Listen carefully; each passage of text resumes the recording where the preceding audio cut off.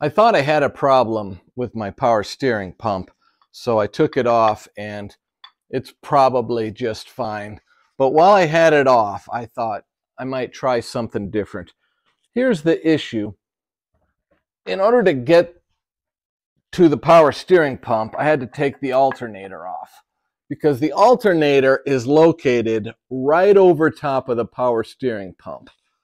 And I've added fluid to it in the past. And in order to do it, you can pull the cap off and you can just sort of slide it to the side. You can't even get it off, at least not on my car. And then you stick a, a real narrow funnel in there, like this, off to the side. And then you can add power steering fluid to it. Now I had that leaky valve assembly underneath there, so I always needed to be adding power steering fluid to it. But this is what I found out. I didn't even know it did this, but there's a dipstick on this thing, which I could never even get out because the alternator was in the way. And it says cold fill, hot fill. And on top it says fill to proper level. Do not overfill. I'm sure I overfilled this thing a bunch of times because I could never get to the dipstick. So I had no idea what, what was going on with the thing. So I've got a new pump on order We'll see how that goes. And I bought a remote reservoir at a swap meet. Let me show you that.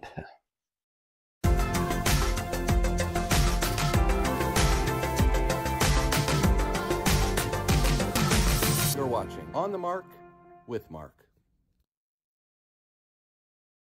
Here's what it looks like. Now, bothers me a little bit because it's got a Chrysler star on it. This actually would fit on a Jeep. That's what this was made for. But I was at the Jefferson Swap meet last week, and this was one of the things I was looking for. And this really was the only one that I found that I thought would work. It's got some pretty easy ears here that I'm going to be able to use to mount on. And it has a dipstick too. So the new pump, I'm assuming, since it uses a remote reservoir, just gets filled full. And then this is where the excess ends up. So I need to build a bracket. So that's what I'm going to start doing tonight. Yesterday.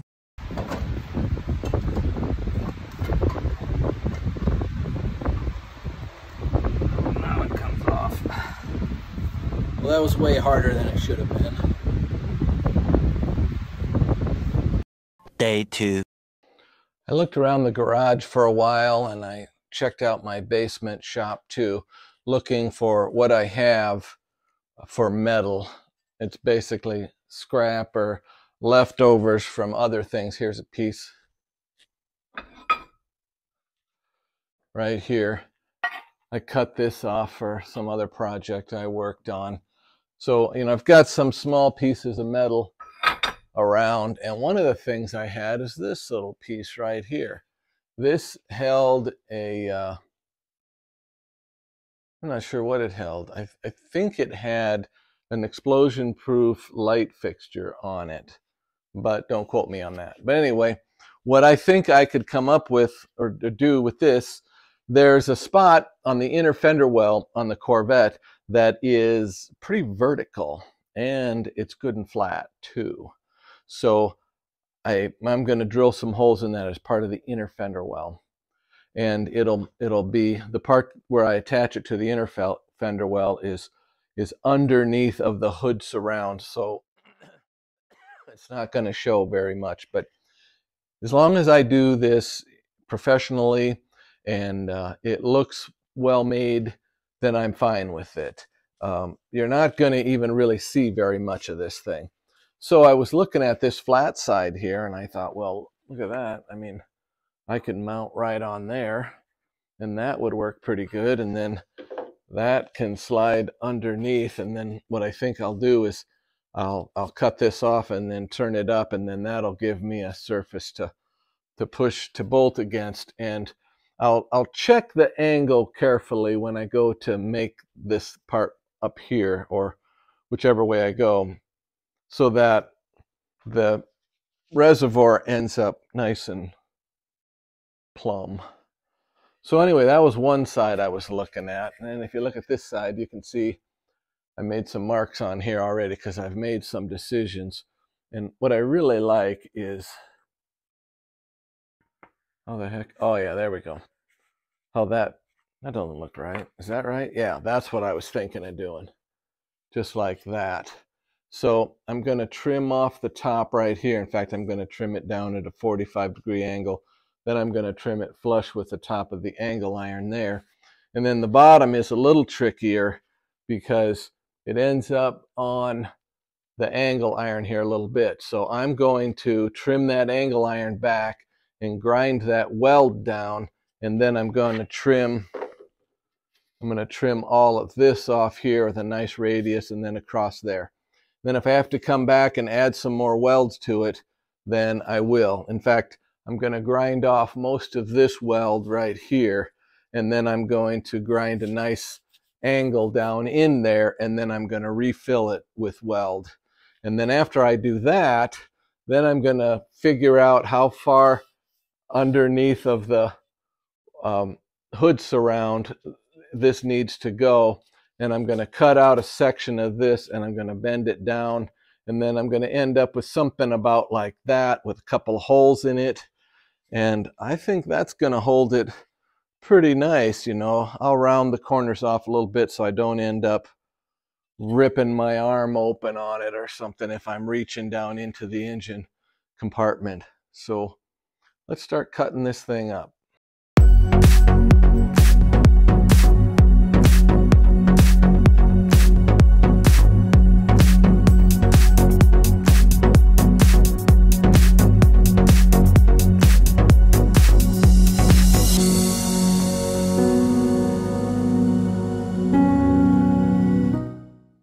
This is my least favorite tools of all the tools that I have. I just hate this thing. If I if I had a saw blade, I sure wouldn't just hang it out like that in the middle of nothing. It uh, it's just super dangerous. I just can't stand it. Here we go.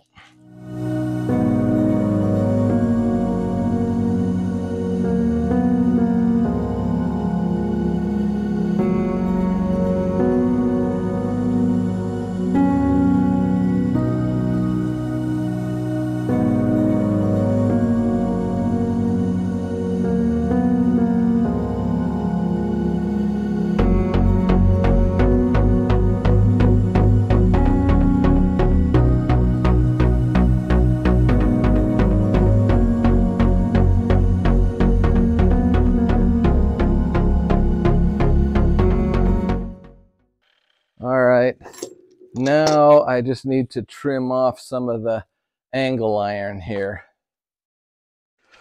In order to get this to be flush down here so it's on the same plane as this side, I need to cut off part of the angle iron right there. So I'm just going to grind all that off. Then I'm going to smooth out this weld right here.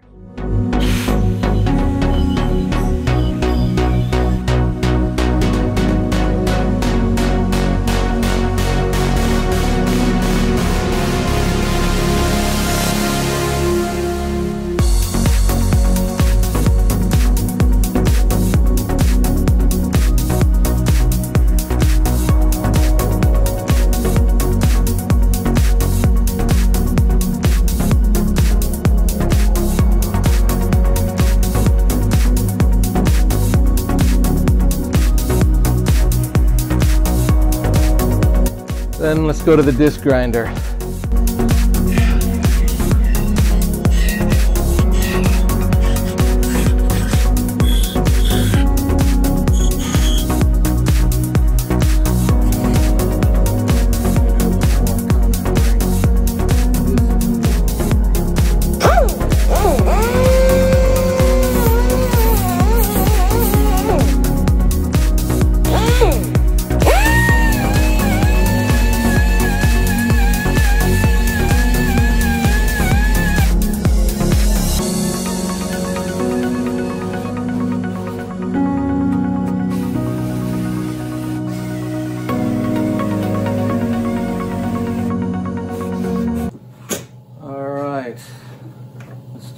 Test fit here.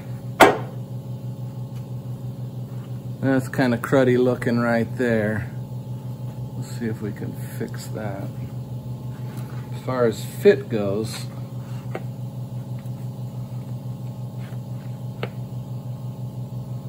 that doesn't look too bad.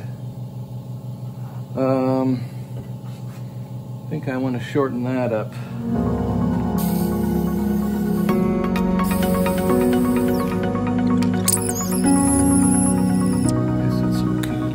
Bit of a gap opening up on it. But anyway, I got a couple of holes drilled in that and that's gonna trim out real nice. I'm going to straighten things up. Ooh, that was hot. With a file and see how pretty I can make it.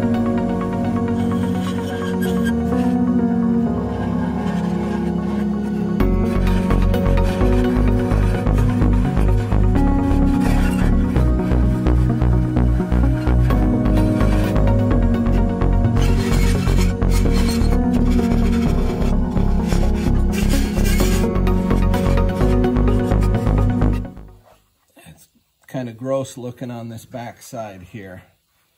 But after I paint that and cover it up with that, that won't be seen at all, of course. That's mainly what is going to be visible.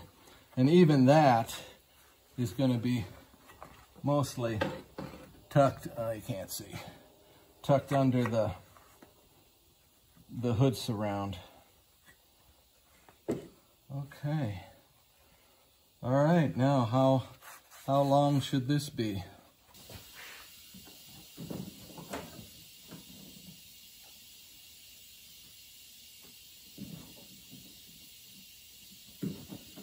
So there's a pretty vertical section of inner wheel well right here, which I think would work pretty good, except that I can't get a good measurement. Let's see, well I know I'm just going to here. Wow, it's not very long. I think three inches. Holy smokes, that's gonna be small. Which I suppose is good. Look at that, three inches. Wow. Three inches, that's into my plate already. Well, my three inches comes to right here. So that kind of leaves the bending this idea out. I'm just going to cut it off there and then I'm going to come back with the rest of this angle iron. Not this one, but in a direction like this to hold it on. So that's my plan. So I need to cut this sucker off. This is my grandfather's saber saw. So I don't know, probably bought sometime in the early 60s, I think. Anyway, it's got the solid metal case, so if it should ever short out, it would try to electrocute you. But it does have the ground wire on the cord still, so I should be safe.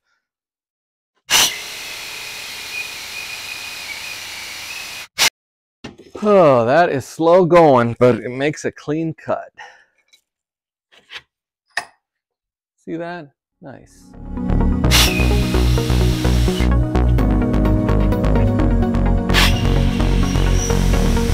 There we go. Need a couple of holes, so I'll use my glorified drill press here.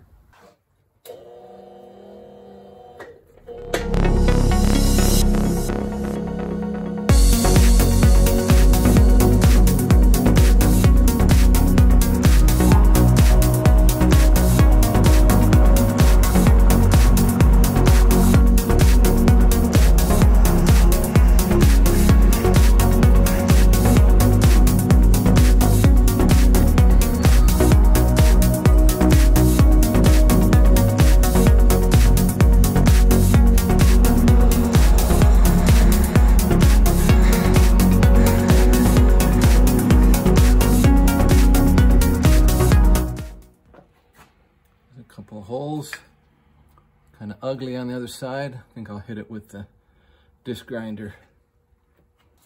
I've bolted my bracket onto the reservoir now. So I can hold this in here and see where I can get it to fit. I also reinstalled the alternator. So it has a little bit of movement, you know, for adjusting the belt tension on it, but this is about where it's going to be. So I'm just going to stay away from that.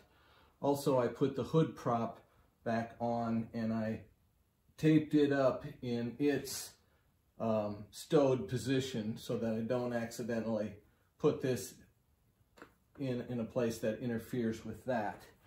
So that kind of tucks it in here a little bit different than what I was thinking. You know, maybe, just thought of this, maybe it kind of goes in sideways like this. I have a plan and I need a third seven inch long vertical piece here. So I'm going to start by cutting that off and then I have to also build kind of a kink into this too. So that'll be after I get it to length. I don't know quite exactly how much kink I need, but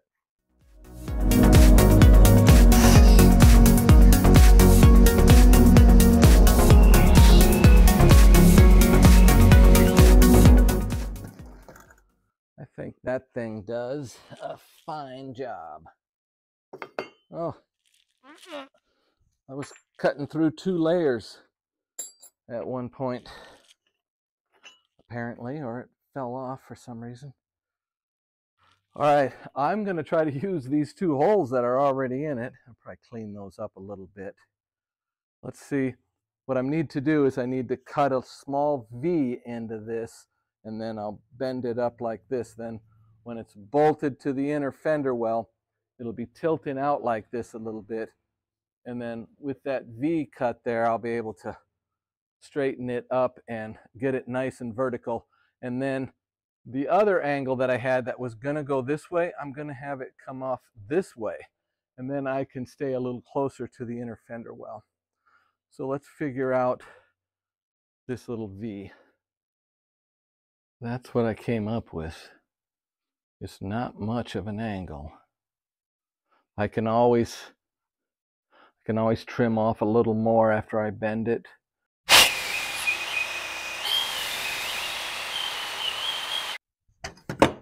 Well, it looks more like a notch than it does a V.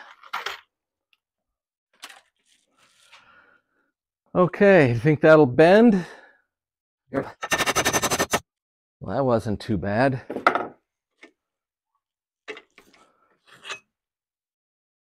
It's a decent bend.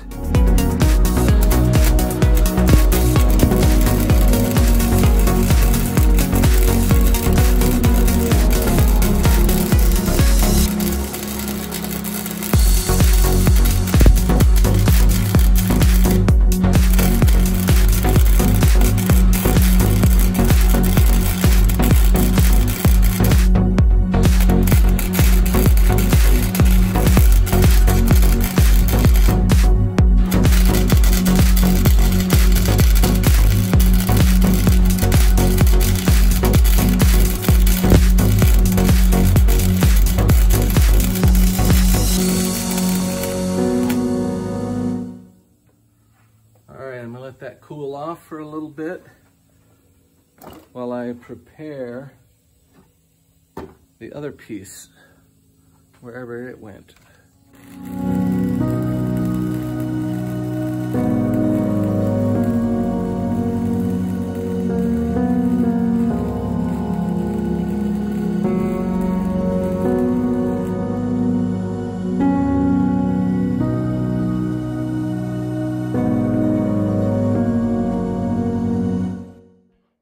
The new power steering pump came today. So let's take a look at it and see if it compares to what I'm taking off. Mounting bolts need to be the same. So let's see what we have here. It looks a lot like it, just without the reservoir built on it. Yes, this will be this will be good. These bolts and those bolts are the same. This goes in a different direction here, but I don't think that will matter. I'll have to open that up and see if it's the same thread as that. Probably is. If it's not, I can come up with something else. Another difference is it's got this line up here, which I'm assuming that goes to the reservoir. I'm going to have to probably do a little bit of research before I go putting this on. Uh, the rest of it looks the same. I got to pull the pulley off of mine and put it on there. I'll clean that up, probably sandblast it and repaint it. That will look nice. Okay, so we're moving along nicely here. Just got a little bit more work to do on my bracket and I think I can start putting all this together. Well, I got to take that apart. This is going to soak in my parts washing tank before I go cleaning it up. Okay, here's how the bracket looks right now. Okay, and here's the reservoir. Goes on like that. Uh, had some hardware around here.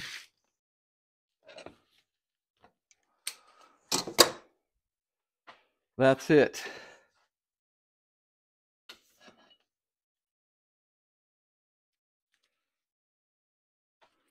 So it kind of rests on the angle iron right there.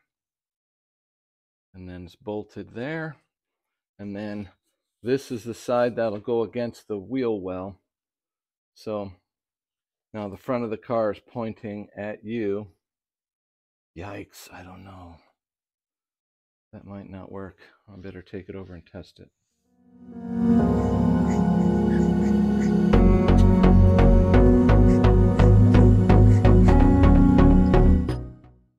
Go. We got the two mounting holes in it. We just need to clean this up a little bit. And then we need to drill the holes in the fender of the car.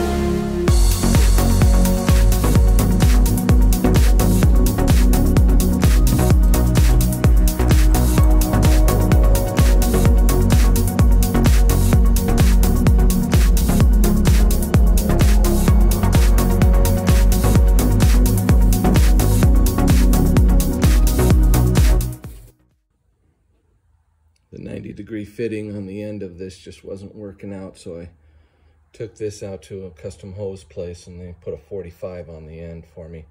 We'll see if that works. I need to drill a couple of holes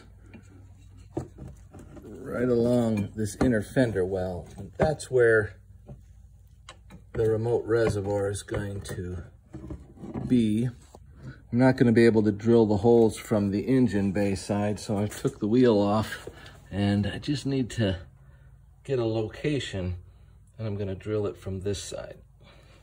Okay, here's my bracket. Here's the remote reservoir and now it needs to go something about here.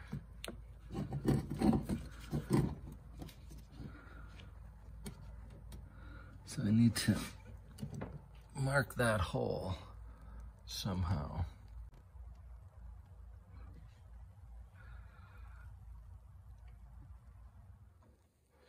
Here is the reservoir mounted on the custom bracket I made, which is bolted to the side of the inner fender well. Make the noise. Make the noise. I'm not real thrilled with my hoses here.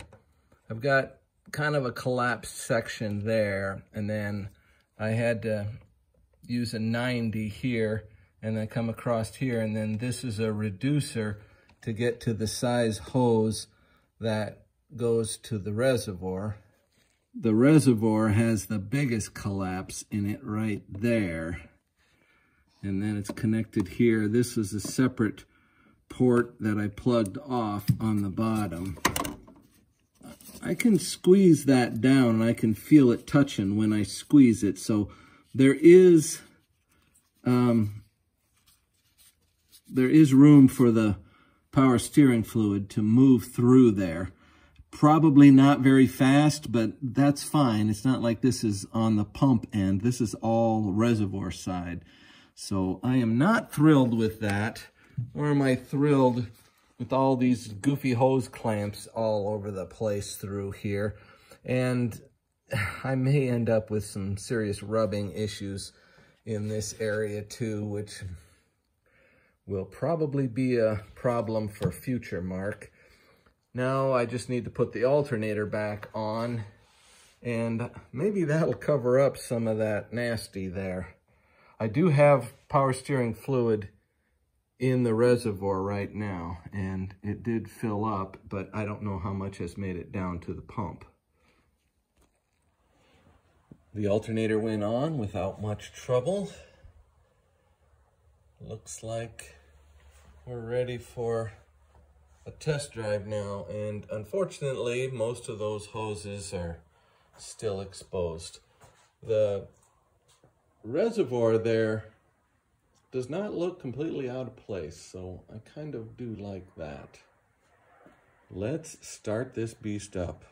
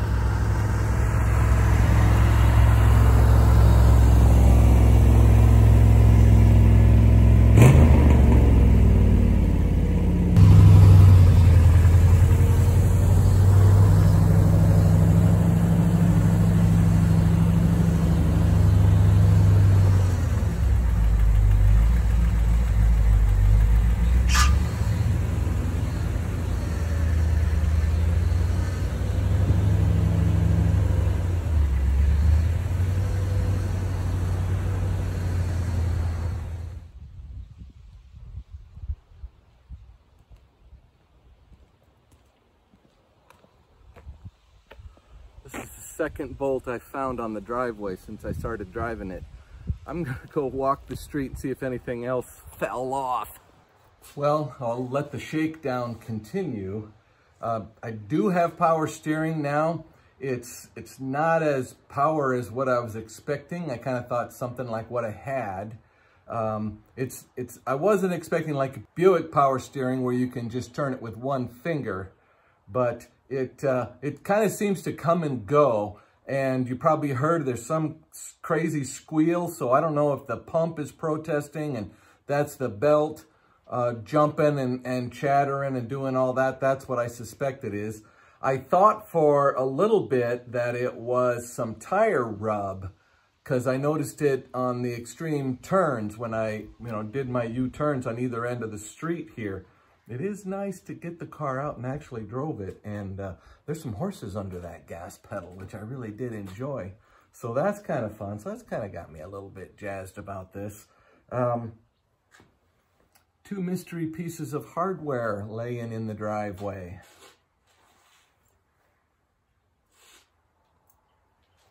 I haven't figured out where these go yet. Might be important. So I've got that. So that's where we're going to wrap it up this week. Uh, thanks for watching my video. If you haven't subscribed to my channel yet, I would really appreciate it if you do that. Uh, things have been going pretty good with the channel. I'm very happy with that. Here's a couple of pictures that I took uh, the other night. There was a full moon here. I thought it looked kind of good. I had it out on the driveway. So enjoy those and while you're subscribing and like. And if you have a comment, I'd like to hear it. Thank you. Mm-hmm.